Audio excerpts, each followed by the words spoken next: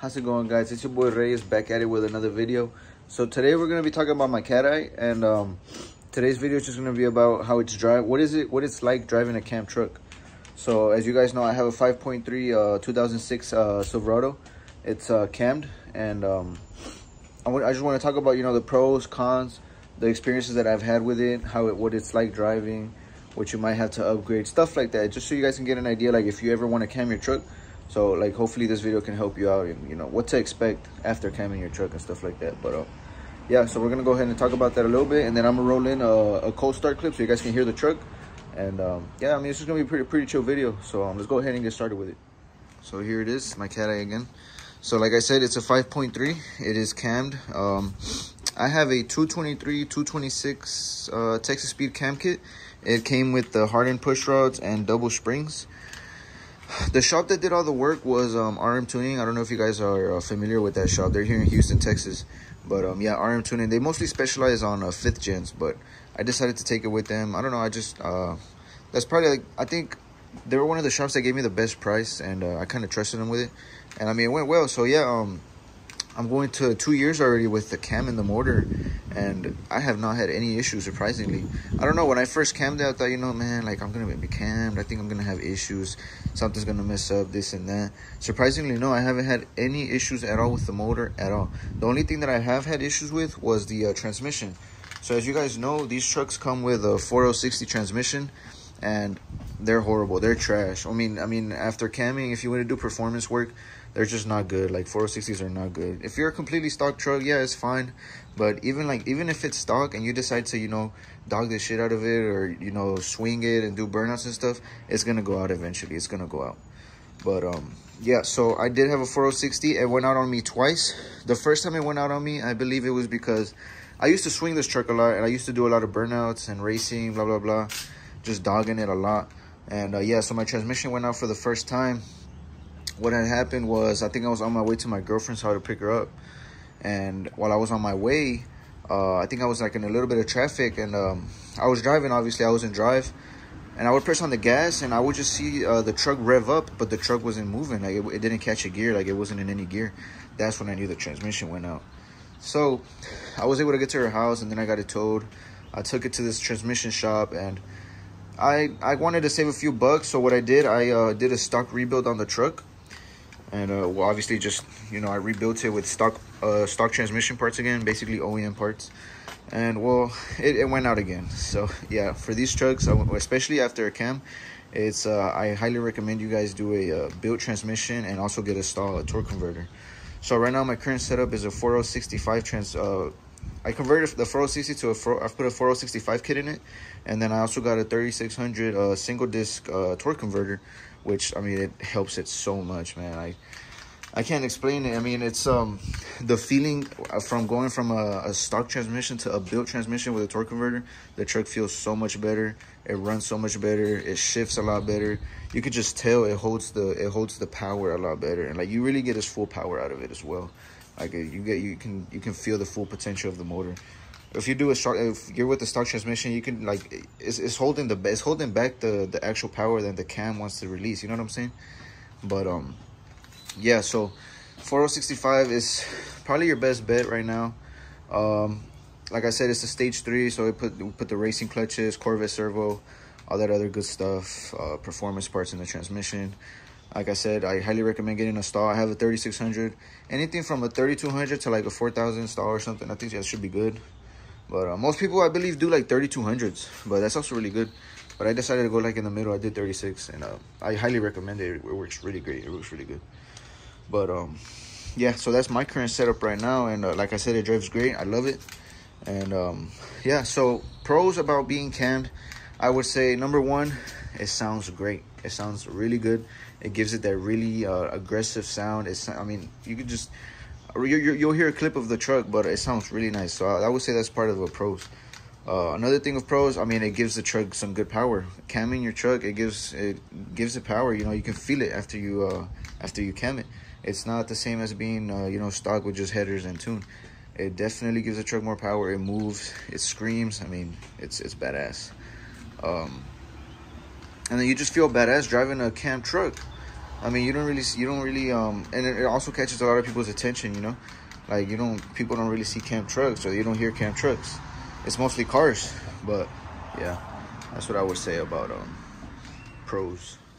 So for cons on this truck, or I mean, after camming your uh, your truck, I'm just going based off my experience, right? I don't really have that many cons. Uh, I would say, you know, it does waste a little, it does waste a good amount of gas uh, for a daily. You expect to be in the gas station a few times a week, you know, pumping gas.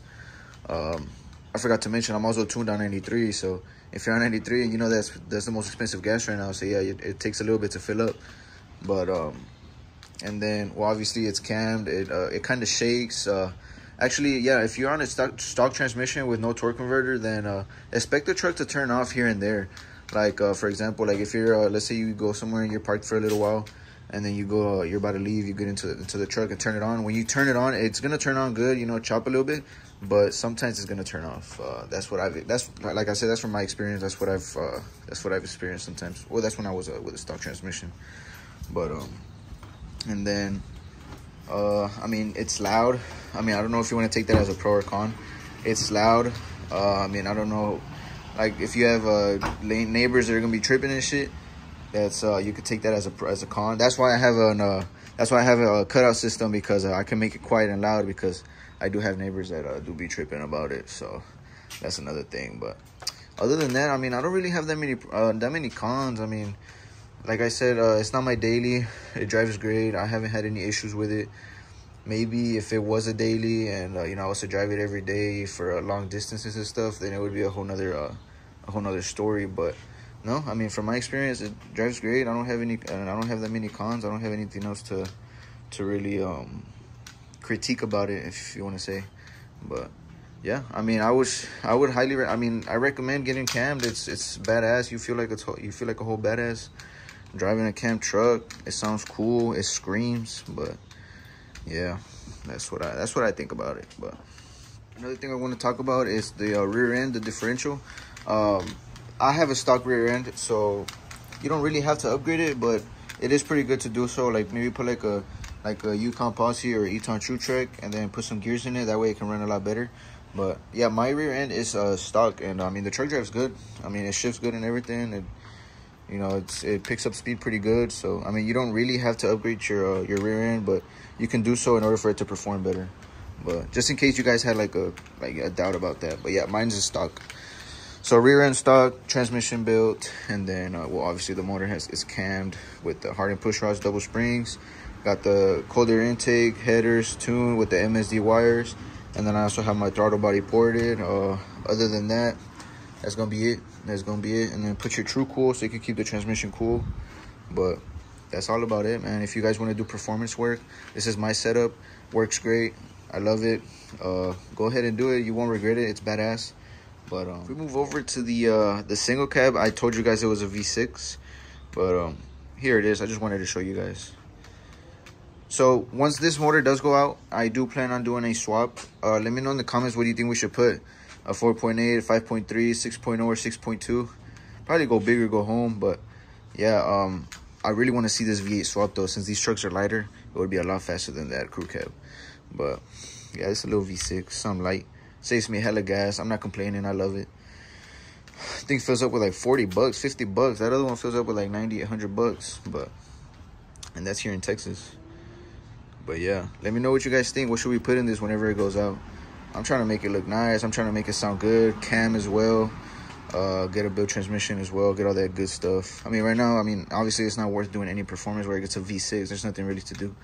But, um, yeah, yeah, yeah. Let me know what you guys think in the comments. But right now, I'm to roll a clip of the uh, crew cab. Um, I'm to do a cold start so you guys can hear it. And, um, yeah, I'm to go ahead and do that right now.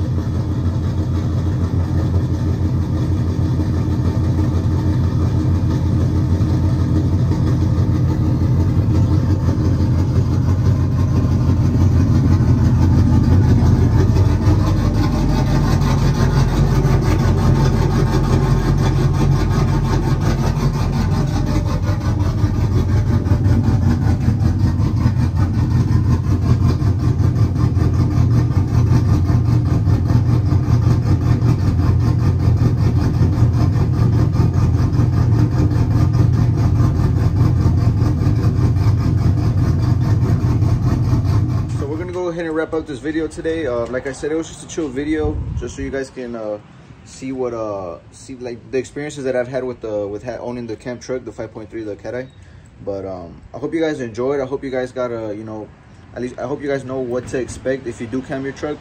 Um, and uh, I mean, if you guys have any questions, let me know in the um, in the comments down below. And uh, don't forget to like, subscribe, like I said, comment, whatever. If you guys have any questions, uh, let me know what kind of other videos you guys want to see. And um, yeah, on that cold start clip, it, video does no justice, man. This thing sounds a lot louder in person. But um, yeah, I guess we're going to catch you guys on the next video. You guys stay safe, and uh, I'll see you guys later. Peace.